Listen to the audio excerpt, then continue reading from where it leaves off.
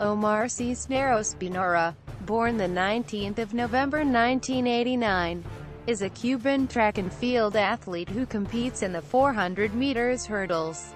He is the Cuban national record holder for the event with his personal best of 47.99 seconds. He won gold medals in the hurdles, and four times 400 meters relay at the Pan American Games in 2011. Cisneros represented Cuba at the 2008 Summer Olympics at the age of 18 and competed at the World Championships in Athletics in 2009 and 2011. He has also won gold medals with the Cuban relay team at the Central American and Caribbean Championships in Athletics.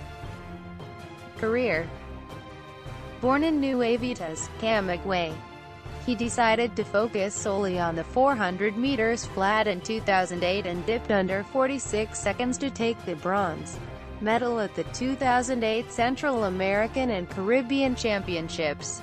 A personal best of 45. 76 seconds for the 400 meters opened Cisneros' 2009 season.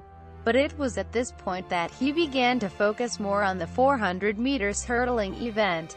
He ran a personal best of 49. 49 seconds to win the gold at the 2009 Alba Games and also helped defend Cuba's relay title. At the Barrientos Memorial he improved his best by almost half a second, running a time of 48.